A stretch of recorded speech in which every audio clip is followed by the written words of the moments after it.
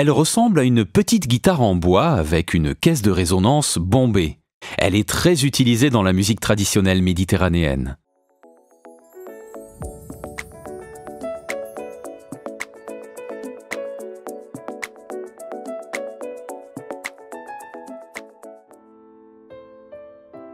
Mandoline.